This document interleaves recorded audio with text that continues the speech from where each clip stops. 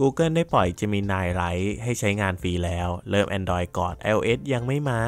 ผู้ใช้งาน Android ทั่วไปนะครับ ได้เข้าถึงผ่านแอป Gemini แล้ว จากช่วงเปิดตัวเคยสงวนทางเฉพาะผู้สมัครสมาชิก Gemini บน Google One ในราคา 750 บาทต่อเดือนเท่านั้น Gemini Lite คือบริการ chatbot ที่สามารถพูดคุยกันโต้ตอบด้วยเสียงได้อย่างเป็นธรรมชาติ มากกว่า Gemini เวอร์ชันปกติ สามารถพูดแทรกได้โดยไม่ต้องรอให้จบประโยค เหมือนกำลังคุยกับมนุษย์จริง ๆ เลยครับ และมีรูปร่างเสียงที่ให้เลือกมากมายถึง 10 รูปแบบเลย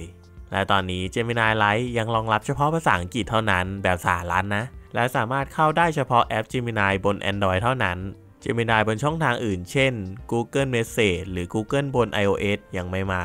และรวมไปถึงยังไม่ได้รองรับในส่วน Gemini ที่ทำงานร่วมกับแอปอื่น เช่น Gmail YouTube Music แต่ Google ยืนยันว่าจะมีการอัปเดตเพิ่มเติมเร็วๆนี้ครับ และภาษาอื่นๆและจะรองรับส่วนขยาย